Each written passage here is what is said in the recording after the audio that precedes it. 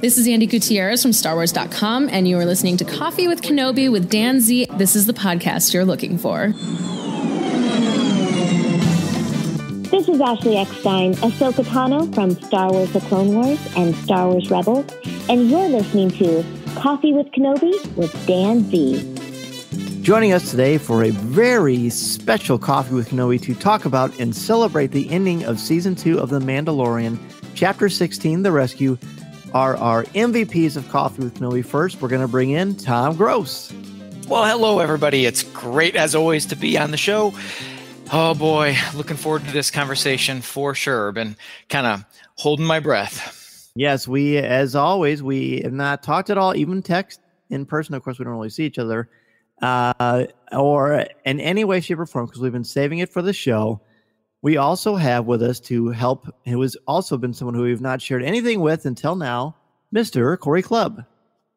Hello there. I'm glad to talk this with, about you guys with you guys, and oh boy, I feel like I've been holding it in. You know, it's like uh, you know, just you know, experiencing it, but also you know, having played D and D online with you guys. I didn't talk at all, but uh, it was fun. But uh, you know, there's a, this is a big episode. That's right. We did all play Dungeons and Dragons a couple days ago remotely on Roll Twenty, but we didn't talk at all about the Mandalorian. But now the the Mandalorian gloves are off, and we are ready to jump into it, guys. Let's just start off with a letter grade and an overall sort of reaction to the episode. Cory, we'll start with you. Letter grade. Wow, this this is a fantastic episode. Um, I couldn't be more happy with this finale. Um, brought a lot of things together for the season, the last two seasons. Uh, a lot of surprises, a lot of excitement, a lot of action. Uh, it was fantastic. Got the A plus because um, it was just a lot. It was. I mean, I know we as fans, you know, try to figure out what's going to happen next, and knowing how the season has went, you know, they've kind of popped popped up all kinds of different types of um, you know, Easter eggs and things and hinted at things. And this is a really, really gave us a lot in this episode. And I was really, it paid off very, very well. Um, and that's what I think was really nice about this episode. It didn't leave us necessarily hanging a whole lot. Uh, a lot of um, good moments. Uh, so, wow, it was really fantastic. I think it's probably my favorite episode this entire season. Wow. Tom, I'm not surprised. Tom, what about you? Yeah. yeah.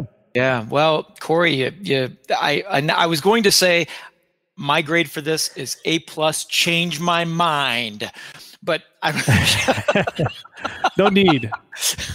so, I, and I give it this, I give it that grade uh, because this this episode, in my eyes, has everything I want from a final episode.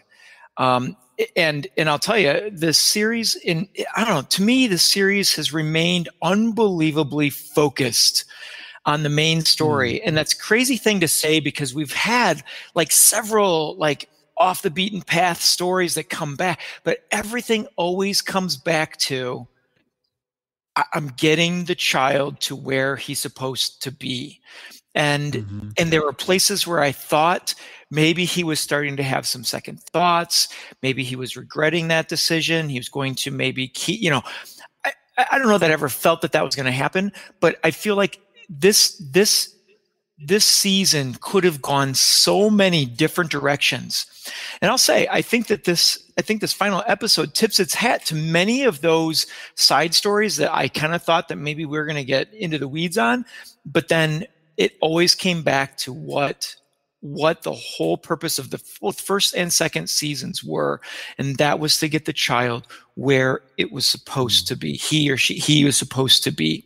So a plus on that because it gave me everything i wanted. It gave me some things i it, it went places i didn't think it was going to go or i didn't know.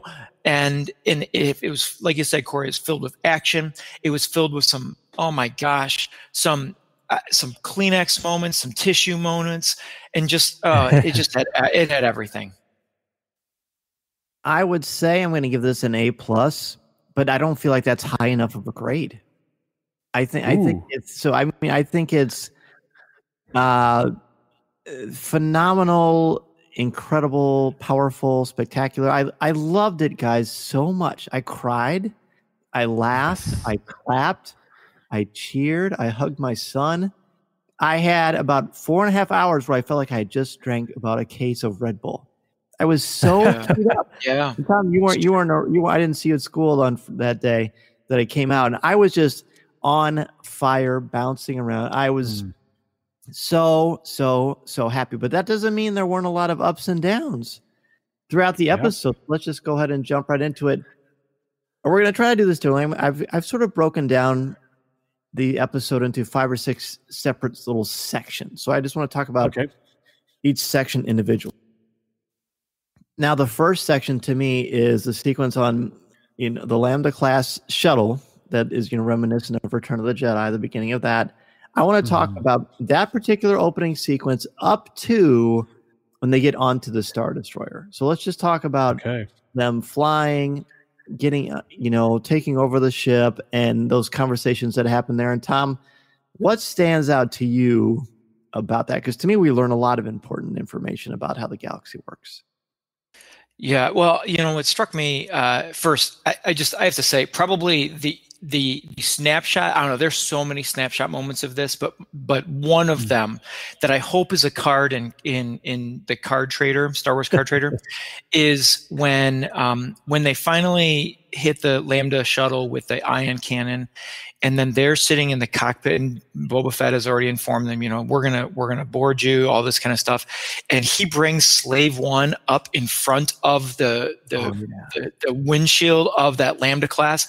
And I just I looked at my daughter and I go, Oh, is that awesome? I mean, we I mean, I don't know. I think I think you guys are in the same camp as I am. Slave One is a mm-hmm. legendary mm-hmm. ship. And mm-hmm. that was exactly how I wanted to see that ship portrayed in that moment. I mean, intimidating, threatening, everything. Because these are these are imps, as they're calling them. These are the imps, and they are and they are nasty and they're dirty. And while they while the Imperials are calling for order, I feel like these Imperial pilots in this particular case, I feel like they're so like mean and nasty and i don't have a death mm-hmm. threat. Does anybody else in this you know and he looks back at the at the doctor. And so probably one of the most important things that i got from this is we got confirmation. I don't know and, and maybe it was just confirmation for me. Maybe we've known this all along but that is that dr pershing is a cloner. And I, I suspected that, but this is, am I right? Is this the first time we get actual confirmation that that is what he does? You are correct. Mm-hmm. Okay. So yep. I found that to be really important. Um, and then the second, the second piece of that is when, when that pilot is holding um, Dr. Pershing uh, hostage, he's got the gun to his head, and he starts taunting Cara Dune. I don't know. That that really uh, when i say it bothered me it didn't bother me as a fan or it bothered me as a fan not as a like i don't think there's any i thought it was a beautiful moment uh, on that shuttle but it bothered me because he just he was tormenting her. I saw the tear. I saw the tear. I was on that death star and i love how she quips which one? You know so she stands strong but man i just you you can just feel the blood boiling and you can see that there's still this raging hatred between the two of them really. I mean and then she you know blasts him in the face. And so the second i guess the third point i want to make about this passage and then i'll i'll, I'll concede or uh, uh, what is it when congressman uh, let the next person talk? Um, my, my next important thing that I took from all of this was um, uh, was the how brutal this this part was. And, and and other parts of the of the episode were as well. But they they started out hot which is what i've appreciated about this series. We talked about this with um with the uh, the jedi episode. Um you know just coming in hot with ahsoka right from the start. There's no messing mm-hmm. around. There's no goofing around. There's very little um setting of the scene. They just go. And i felt like this one started that same way. But it's it, there is they're they're not pulling punches so to speak. The pilot shoots his co-pilot just straight up. Cara Dune takes care of that guy. And, you know, and, and it's just, there's a brutality to this one, but it also gives me the sense of finality. This, that this is, this is it. They have had it. They have had enough. The Imperials have the child. They're getting that child back. A tough act to follow, Cory. Any anything to add to that? Yeah, I I, I agree with you, Tom. It being brutal, and you always you always hear about the debate of uh, you know the personnel and the Imperials on the Death Stars that had lost their life with the explosions, obviously, and tend to like kind of forget about that sometimes. And this guy obviously is passionate about that. Like, hey, you know, I was part of this too, and I've seen my share fair share of you know deaths and whatnot. So there there's a kindred moment there, I think, for both sides, and you kind of have to pick and choose. They they kind of give the audience a, a chance to say, what side are you going to root for? You know, um, it is interesting to, that moment uh, because that's outside the bounds of the Mandalorian that I, we've seen so far. The outskirts. This is a very core world problem, uh, an issue, battle going on, and that kind of brings it to the forefront. And obviously, Cara Dune's kind of been, uh, you know, kind of that moment for us. She's seen some action as a uh, rebel trooper, and you know, and, and, it's interesting to see her her character grow as well through this series. Um, you know, like you said, Tom, she's just blast guy in the face, and, and they're not messing around here. I, I, agree, but you know, you said we're going to talk up to the docking bay scene, and uh, I, I, think I enjoyed the the recruiting Bo-Katan and Koska Reeves uh, scenes better. Um, was they fly oh, yeah. back into? Yeah, we'll get to that later. Yeah. Okay, so yeah. Uh, yeah. basically, it's fun to see these characters come back into the Mandalorian and, and see them talk about you know their past and what's kind of driving their motives. Um, so it, again, it's it's we're seeing a lot more of the galaxy uh, as it is, as we know it as fans. We, have seen and Mandalorian's. I don't know if he's learning this for the first time. Uh, or, or in the sense of he doesn't care, you know, he kind of his he has his one mission, and he's set out to finish it. I think that. I, go ahead. I was just, I'm sorry, I was just going to say I, I, there's there's a piece there that I wanted to uh, mention, and that is uh, Cory when you said that you know they they have this kindred, they both have losses, and I've heard that before on the Imperial side. You know, we lost people on the mm-hmm. Death Star too, and I've I have always had sympathy for that, and it has made me kind of pause and think about that loss. But for some reason, in this instance and in this series, I don't have that sympathy for the for the Imperials. Mm. They be, and I don't know if it's because of their nastiness about it or their ruthlessness about things. I mean, you, you know, you go back to the end of season one when the stormtrooper punches the bag that has the child in it, and we have sort of that like just yeah. dirty play. When he says that about the Death Star, I, I really didn't feel bad for him in this one, and I, I'm maybe I'm just heartless, but I really feel like they've they've painted a picture of like a, a different kind of picture of the Imperials in this one. Right. Well, no, you're right. I think you're right in the sense of of you know, not that they're any, they're they've lost lives and, and had casualties as well, but I think they've caused a lot more casualties than than you know, mm. it, it brought upon themselves that that that type of thing. So. Yeah, it is just interesting. You bring a good point about them being brutal in the sense of they're taking out their actions and we'll get further into this episode, and I think Moff Gideon has some some words as well that are interesting from his perspective. Yeah. I think the most important sequence about the opening thing, yes, that that shot of Slave One slowly cascading above the shuttle was, was pretty breathtaking, and really, really ILM continues to just set the bar yes. so in, insanely high.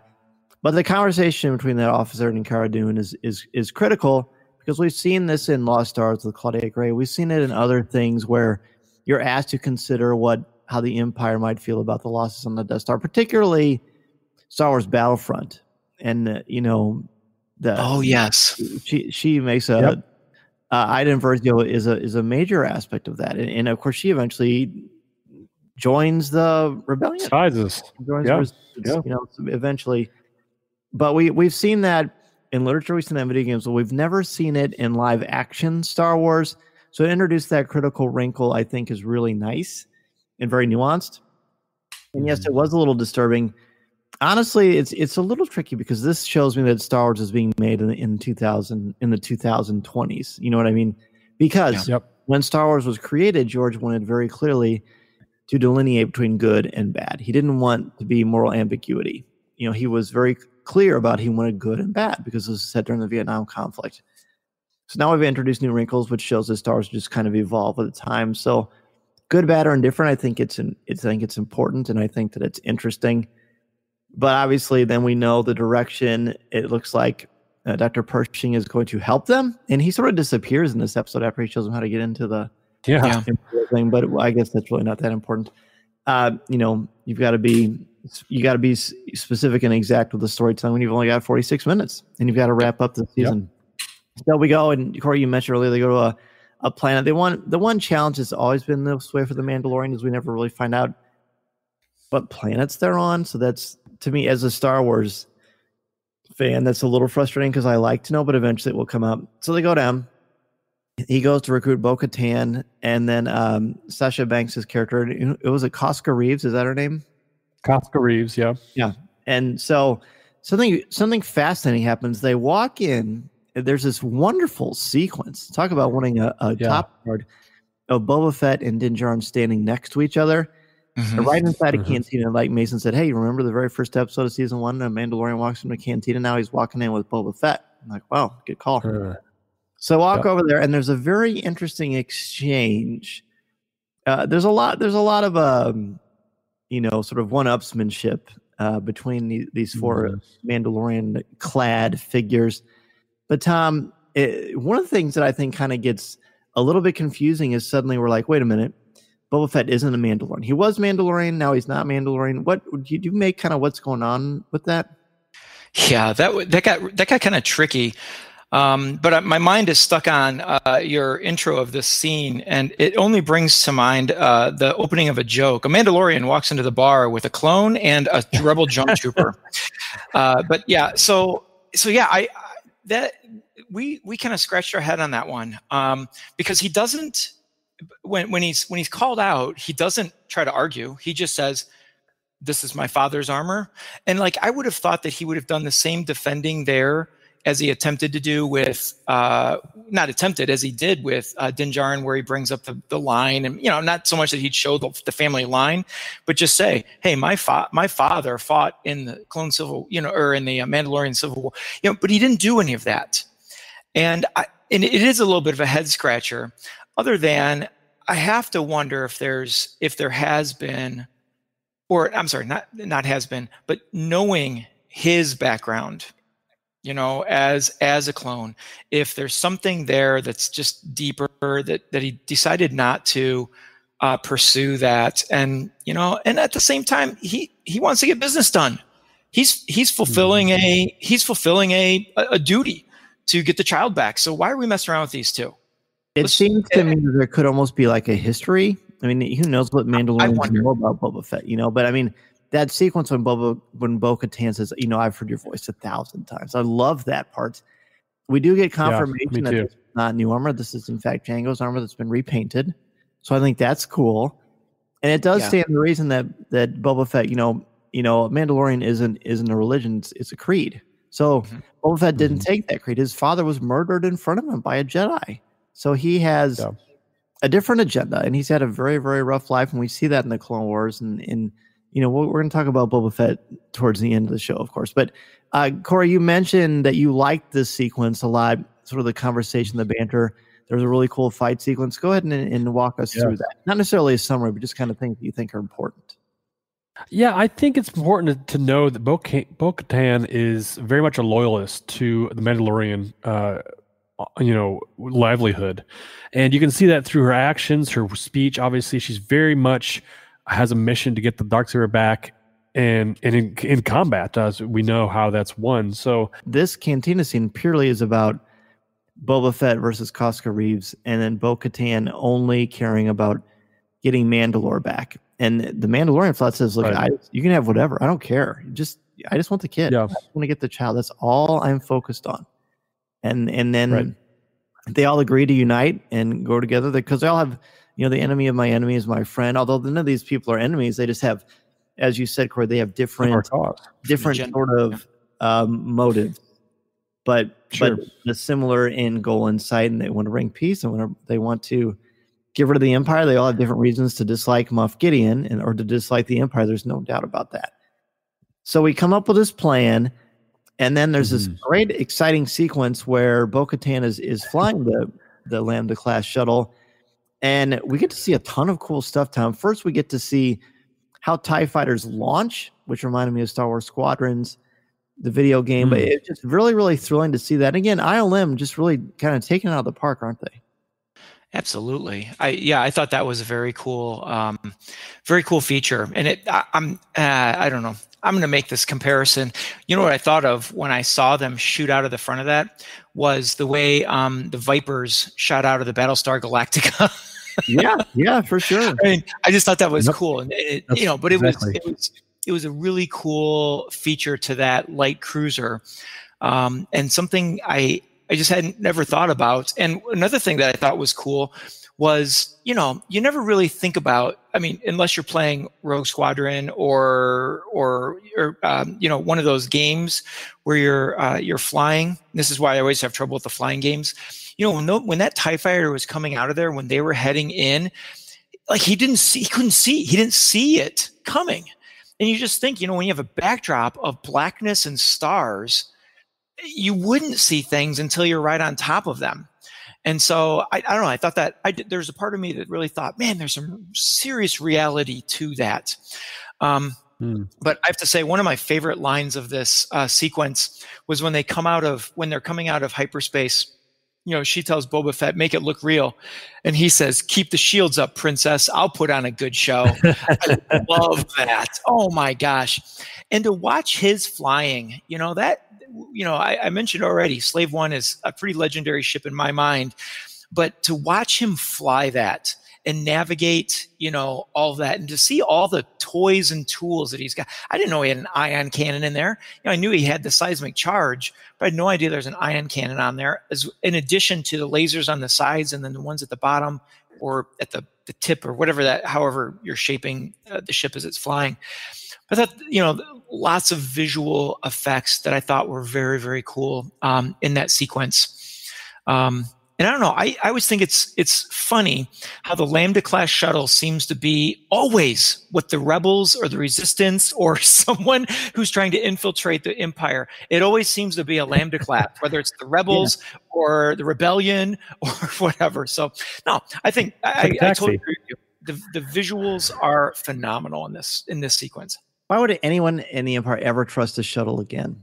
Come on. Like a uh, never mind. Okay, yeah.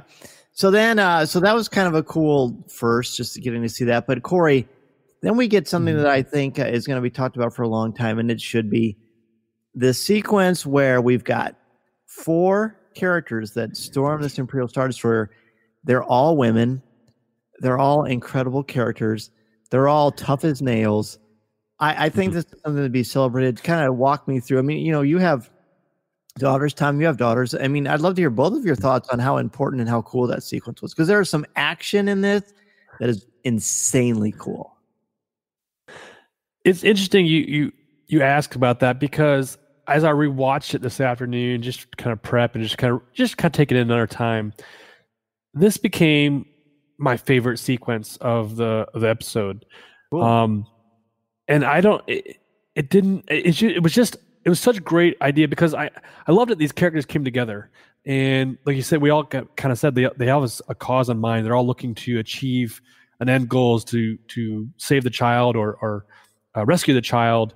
And these four women they split off into a kind of a group, and man, they are awesome. I just their their their no nonsense banter, their uh, their readiness to just take on these stormtroopers and it's like a one, they're one hits just every boom boom boom boom and they all have i feel like they all have their own uh, unique um, fighting styles uh, I, I, really appreciated uh, Fennec Shand and kind of sneaking around and doing her kicks and and kind of power moves where uh, you know Cara Dune was more of the, the, heavy gunner. Yeah. What's that? Like she'll kick you into this massive move and take you out, and then she'll just blast you point blank. Yeah crazy. Oh, like, oh yeah, she's lethal. she is I mean, a military. Exactly. These, these are these are all characters who have uh, seen many battles. That's the thing. It's like they're not messing around. Like we said before, like they're getting they're mowing these guys down and you know using their jetpacks. I love the the also the sequence where they got off the ship and uh, I think it's Bo-Katan like takes out her her uh, grappling hook and you know takes one guy up, and then uh, Koska Reeves come does like a knee knee kick yep. with her jetpack. Oh man, what an awesome like like that's the thing too. These characters and these these performers are are ex- on top of their game. I mean, I wouldn't expect I these these uh, actresses to not be doing the, the stunts themselves. I mean, honestly, th- they're just all powerhouses and definitely get the job done. But this was one of my favorite sequences: them just moving through the ship and moving towards the uh, the front uh, of the ship to we can you know meet up with you know what their plan was basically. So uh, really cool sequence. I really love this. Again, like you said, Dan, this is this is something we have not never seen live action Star Wars before. Uh, four female characters just you know taking ownership of what they do best. That there's uh, like that, those sequences, like her doing that shot, like right through that circle, Fennec Shand, all the cool stuff yep. with the Mandalorian jetpacks. That great sequence where that stormtrooper falls through that looks like a force field, but they just kind of float right through Bubble. space. this brutality, uh, wow! It was it was almost like a ballet, though, to a degree, wasn't it, Tom? It sure was. Um, I wrote down in my notes the the Quartet of Doom. I mean, they they were. I mean, I'm just sitting here thinking. I mean, you know, take Jedi out of the picture. What four other yeah. fighters do you want to have? Um, you know, in your invasion team, you know, and so you know, I, I, go back to so when I realized what was happening, you know, first it, it didn't quite hit me right away. And it was about when they got to that cargo room that I looked I'm like, wait, no, no, I'm sorry. It was when they were on the bridge. And I was like, there, this is, this is the, this is all women. And I looked, I looked out of the corner of my eye at my daughter. And then when they got mm-hmm. into the cargo room, I like watching her face and she was like, oh, oh, it was like me watching Rocky movies at her age. Oh, cool. You know, and and she goes, she says to me, she goes, why why why are they like kicking and stuff? Why aren't they? They're just just shoot them. and I said, why why do you think? I said, you tell me. I tell me why do you think? And she's like, show off. I said, if you could do that, wouldn't you show off too? I said, you know, I mean, it's, it's intimidation. It's their it's their style. And I said, you know, they, they, could just walk through and shoot. But you know, why, you know, why would why would Harrison Ford try to fist fight with some, you know, with someone on the on the streets of of uh, whatever uh, the, the you know, but but why would he do that? Oh, wait, he's got a gun. You know, and he could shoot them all, but it's when he's faced with a guy with two swords that he can't. He shoots them. So I'm like, it, it's, uh, you know, I just, oh my gosh, it was such a, it was such a wonderful moment. And it goes back to that you know that that brutality um, that goes into it but it was just it was so powerful and it was empowering um, as i as i watched the person sitting next to me watching that.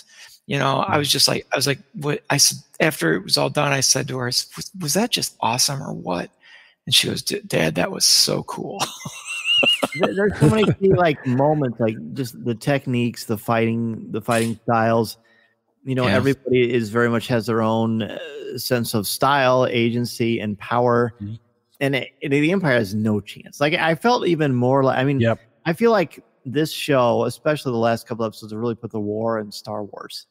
I, th- I think it's very, very clear. This sort of these guerrilla tactics and and how powerful and, and how important it is to have purpose. And they all have purpose, but no one has purpose like Din Djarin, who comes out of the smoke walks down the mm. ramp, and then the plan is for him to go in there solo. And one thing we haven't talked about is we've still got the threat of the Dark Troopers. He has been given a cylinder yeah. to deactivate this doorway so that they can't come through and wreak havoc. So we, you kind of forget mm. about that, but there's this great pacing. Like Peyton Reed is the director of this. He directed Ant Man. He also what's the other episode he mm. directed? He directed uh was it the Frog Lady episode? I believe it was. Uh, I think so. Yeah, it was. It was. And yep. so so he he does that. He he creates this pacing where they're, they're constantly charging these things up and they're slowly moving moving in sync with each other and they they kind of step out in time together turn towards the door just the animation is just very powerful one escapes and mm-hmm. tom we'll just go back to you for this the, the fight that din Djarin has talk about how you were feeling when you were watching the Din Djarin get pummeled by this fearsome droid. Yeah, I mean, how can you feel anything but fear that this might be it? Like that at, at this moment, he, this, this, these dark troopers are like impervious, and all I kept thinking was, just get the spear, just get the spear, just get the spear. But you know, he has so many tools at his disposal, and the spear is probably the last thing on his mind.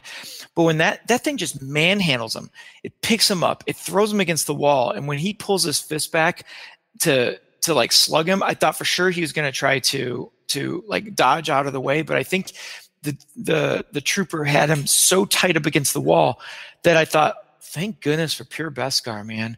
Holy cow. And the fact that he kept pummeling his face and instead of the helmet cracking, it just kept going further back and back and back into the wall. I just this it seemed hopeless. Like it seemed like a battle that he couldn't win. And I just, you know, and I just think back to that episode where he, where Ahsoka hands him the spear. If it weren't for that, if it weren't for that, and picking up that that tool, this this would have been the end of the show. I mean, quite frankly, I don't know how he could have defeated that without the Beskar spear and shoving that up into the guy underneath the mask of the of the Dark Trooper. But it definitely shows, you know, and it takes me back to, you know, it seems it, it, it takes me back to um, to the beginning, to the openings of the Empire, where it seems like a lot of these leaders had their pet projects. You know, uh, Krennic has the the Death Star. Tarkin has, um, or am I am I mixing something up here? Tar- no, you're, uh, you're. Thrawn Thrawn has the um, has the Tie the Defender. TIE. Yeah. The is it no not Tie Defender the the the, the tri tie. Uh, yeah, I can't yeah. remember, but you know what I'm talking about. Yeah, he has those, and so it's kind of like so. Moff Gideon has a pet project as well, and it's these Dark Troopers. And so, like, all of these guys have these special things, and this just seems to be this seems to be a major threat, especially in a situation like this where you have, you know, these small incursions, which is what the rebellion thrived on, by the way. And so it seems like a logical pet project for him to have. Um, and so I just I saw I saw the this the the massive danger. Now I, I, I, I, by the way, tied it was tied. Okay, so I, there is a part of this uh, of the sequence that I, I want to go back and talk about, but I I want to let Cory talk about the the Dark Troopers first, and then and if we can come back, I'd love to address a piece of of this sequence I thought was just magnificent. Good idea. Tell you what, let's take a quick break and we'll come back and get Cory's point of view, and then Tom's going to circle back on a thought from the beginning moments of the rescue. This is Coffee with Kenobi. This is Vanessa Marshall, and you're listening to Coffee with Kenobi. Star Wars Celebration is Lucasfilm's love letter to the fans, and sharing excitement, passion, and celebrating everyone in the Star Wars fan community is what Star Wars Celebration is all about. We have so many great memories of Celebration, meeting incredible fans, the amazing panels, the fun things you can do after Celebration, the merchandise. It is phenomenal. This is a great opportunity for you this year to celebrate the 40th anniversary of The Empire Strikes Back and to show appreciation for all the fans who have helped immortalize this film Star Wars Celebration is giving you a chance to win the complete Empire Strikes Back merchandise collection from the Star Wars Celebration store. Over 30 pieces of exclusive merchandise and four Jedi Master VIP tickets to Star Wars Celebration Anaheim 2022. Enter now for your chance to win by visiting StarWarsCelebration.com. And while you're there, check out the complete lineup of exclusive, one of a kind Star Wars Celebration merchandise. Shop over 150 different Star Wars items, including pins, apparel, collectibles, exclusives from Geeky Tiki, Shag, Bestman Mining Company, an entire collection of products inspired by The Mandalorian, and more. Head to StarWarsCelebration.com to enter for your chance to win now or through December 31st. Good luck, and may the Force be with you. No purchase or payment of any kind is necessary to enter or win this promotion. Void where prohibited. Open to U.S. and UK residents of 50 U.S. states and D.C. 18 plus years. Limit one entry per person per drawing. Odds depend on number of eligible entries.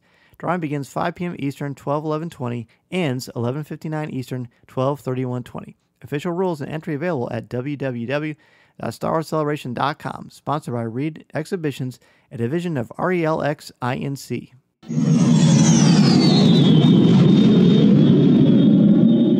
MEI and Mouse Fan Travel is your one stop shop for your vacation needs and your plans to Walt Disney World, Disneyland, or the cruise lines. Travel looks much different now than it did a couple of months ago, and with the opening of Walt Disney World and soon, hopefully, the opening of Disneyland, you need a place to go where you can trust and they will help you figure out and navigate all the different circumstances and guidelines that Disney has put out for you. And I can say that we had our vacation modified, and as soon as dates were announced, MEI contacted me directly to help me reschedule, which is exactly what I was hoping to do. So if you are interested in rescheduling your vacation or want to try to plan a Walt Disney World, Disneyland vacation, or anywhere else you want to go on the planet, be sure to contact MEI and Mousefan Travel at www.coffeewithkenobi.com slash mousefan travel. Their signature service and expert advice will help you maximize your vacation time and dollar, and they will help you figure out all the different changes and modifications going on at the Disney theme parks. They are amazing, and I can tell you, honestly, from the bottom of my heart, the peace of mind that Becky Menken and the crew at MEI and Mousefan Travel have given me is invaluable. If you're interested at all, again, go to www.coffeewithkenobi.com slash mousefan travel. I felt the Dark Troopers were kind of haunting when he says activate Dark Troopers. And that music starts up, that, that kind of that robotic, uh, alert, you know, sounding. The music in this whole episode is really fantastic. It really plays to each of the yeah. sequences. But this was these made these guys, uh, you know, very haunting. The red eyes glowing. My kids are kind of, oh, you know, wow.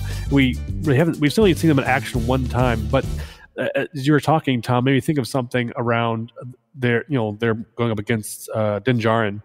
Um, you know, as Marvel fans, we always wonder what Wolverine's claws would do to Captain America's shield. And this is kind of one of those moments, like yeah. these guys are made out of, you know, tough armor alloy of some sorts. Uh, Beskar, maybe we don't, you know, and and Mandalorian has Beskar on, and he's got the pure Beskar, um, you know, spear. It's just almost like these powers of, you know, two strong things going against one another. What's going to win, you know? And it's really interesting. And he does struggle with this thing, just one of them. And uh, it's just fascinating to see this, this sequence play out. He tries fire, he tries his rockets, he tries everything, you know, and nothing's really working. So it's it's really kudos to you know kind of playing out through the other episodes and using all his tactics and things. Uh, but I, I, love this fight. It was really cool uh, and very, uh, very ominous uh, as far as Dark Troopers go. And I, I like their design. I also wanted to note too that uh, I think it's Dr. Pershing had said the third generation design uh, that we took out the human element that was the flaw or something. I thought, wow, that's really interesting you know yeah. they've been through the trials and these guys are the best because they have the they've lost they have no emotion. They you know there's nothing left. So they're pretty brutal um, as far as their tactics and uh, programming goes.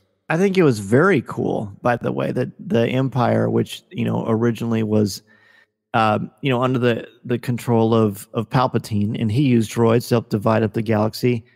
And then the empire went away mm-hmm. from droids and went with stormtroopers and now they went back to droids again yeah. kind of make it full circle, which is was rather entertaining. And this is in the Dark Troopers, the setup of the Dark Troopers, the dominance of the Mandalorian throughout this entire series of how powerful he is and how effective he is in combat. He is a one man wrecking crew, more than formidable for just about anybody. The only person who ever really gave him any trouble was Ahsoka, and he didn't even really try with Ahsoka because he knew he was out of his league. So to yeah. see him in this much trouble, in this much danger of losing his life and losing his mission of finding Grogu because of the way this thing toys with him. The the the constant pummeling in his face, I kept thinking, thank goodness for Beskar. Thank goodness this thing that he won't take off that helmet because he would be absolutely crushed into a pancake or worse. And so you just feel this intense fear and dread and this is not the only time that Mason and I looked at each other and said, "My palms are sweaty. I'm so nervous right now because mm. the music, the pacing, the danger of the Dark Troopers, uh, the the re- the sense of relief you feel when they go flying out into space, even though you just kind of have a sense in the back right. of your brain that it's not. That's that's too easy. I even said to Mason, that, "Okay, crazy. that's too easy. Something's going to happen." By the way, we I do think uh, it's fair to say that these dark troopers are not made of beskar because uh, we think we know that lightsabers can cut through them pretty easily. But we'll get to that. Yes, yes, true. Tom, true. you had a point you wanted to say earlier. I I did, and Cory, you touched upon it it was it was at the opening so when he says start up the the dark troopers and they flash to that to the face and chest of that dark trooper and cory you mentioned the music and that's that's what i want to i want to talk about mm. here for just a second is the music because it it it and and the name of the composer you're Ludwig Göransson. Göransson. Okay, Göransson. Yes. So when he when that techno, like eh, eh, like Mhm. almost acid techno or heavy techno comes in, it's so magnificent because I, it took me a second. In fact, it, it was the second time I saw it that I really I was really trying to pay attention. I wasn't sure if that was actually music or if it was sound effects of the create of those things warming up. And i just Huh. think that that was that was such a beautiful way to like introduce them with with music um, that sounds like what we might picture that that puts the scare into them. And um and that but then but then what happens next is what i thought was absolutely beautiful because they go from that threatening techno heavy droid feel to the snap to the smoking uh, docking bay or launch bay where the Mandalorian is coming down and you go to his theme, the you know, that that piece, and it's so quiet and it's so I don't know. I don't know how you guys feel about that theme, but I feel like it's so lonely. And he Mhm. comes walking Yep. down, he comes walking down those, that ramp, and you have that like almost Native American sounding, Western sounding Hmm. flute that's going. And it, it made me sit back the second time I saw it because I paused at that time. And I sat back and I thought, the Mandalorian is truly alone in this rescue. He's got his quadri, you know, his quartet of doom doing their business, leading the way and, and whatever, but they've cleared the way and he is alone. And I really felt like now that looking back on hindsight, I really felt like that moment was really foreshadowing what's going to happen in this episode at the end. True. Is that he's Mm. going to that's this is his this is his mission and that's what's going to happen and i just i thought it was so beautiful the juxtaposition of the techno and then this this mm, this quiet alone sort of moment i don't know i just i just thought it was it was a beautiful juxtaposition of the music and imagery It really was. It really was. So we we've got. I think we've. Uh, well, gosh, we're barely halfway through. We've got so much more to cover. We could probably spend another couple hours, but instead of that, let's take a really quick break. This is Coffee with Kenobi. Listening to Coffee with Kenobi, you are with Dan Z, the podcast you're looking for. This is.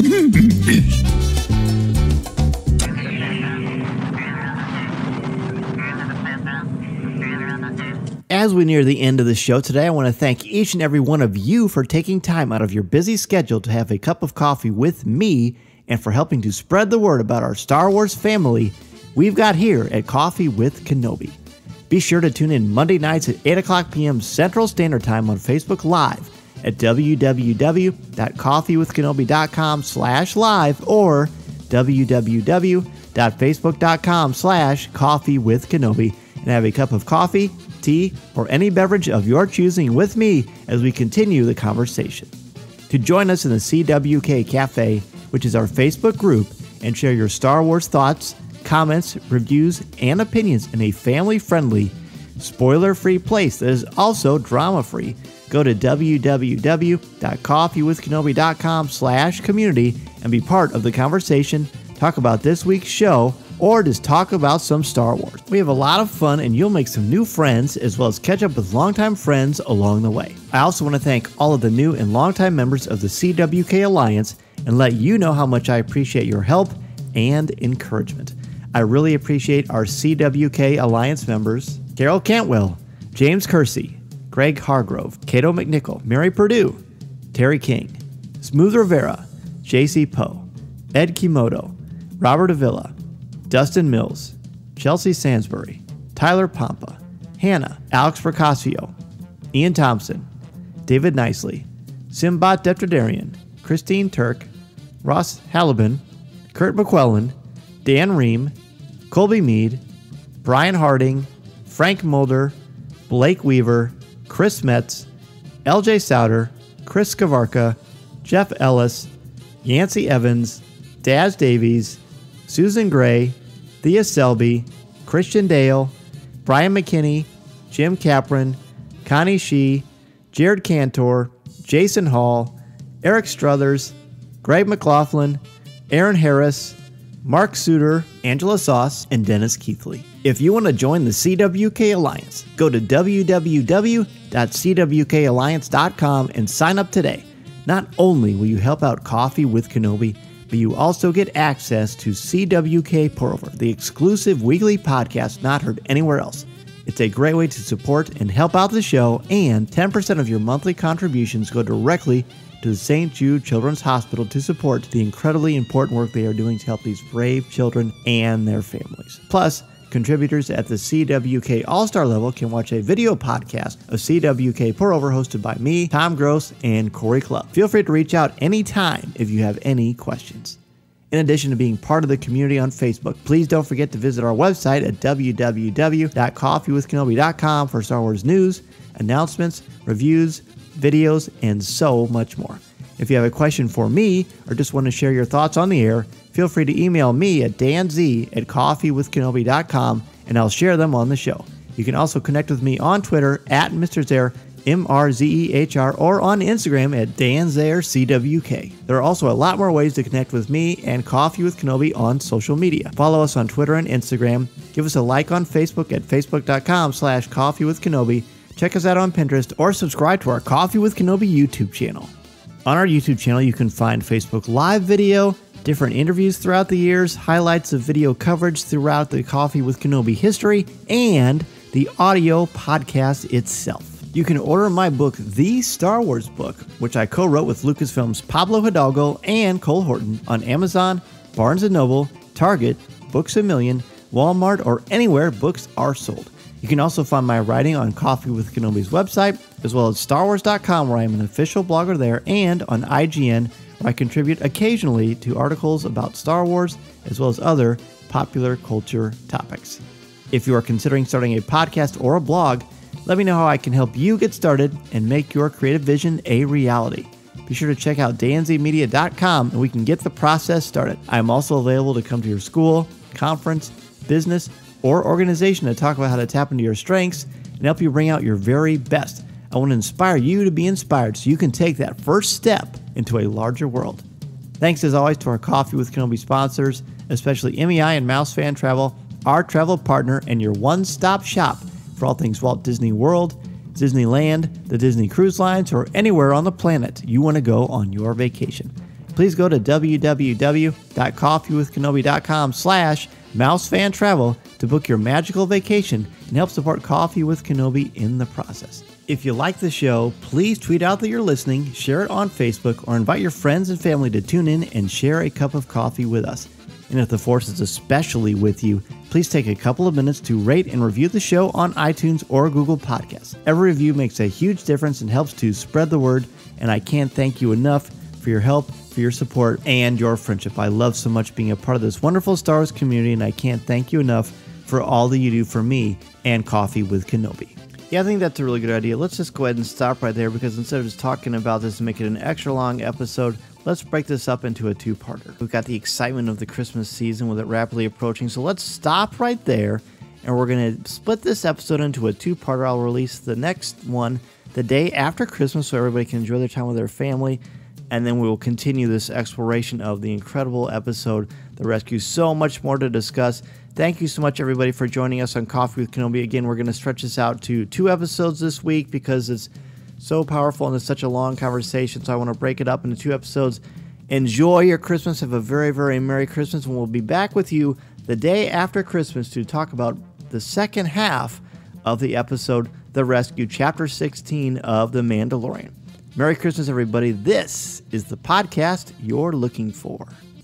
This podcast is not endorsed by the Walt Disney Company or Lucasfilm Limited. It is intended for entertainment and informational purposes only. The official Star Wars website can be found at www.starwars.com. Star Wars, all names, sounds, and any other Star Wars related items are registered trademarks and or copyrights of Disney and their respective trademark and copyright holders. All original content of this podcast is the intellectual property of Coffee with Kenobi unless otherwise indicated. This is the podcast you're looking for. There's no one here. Move along.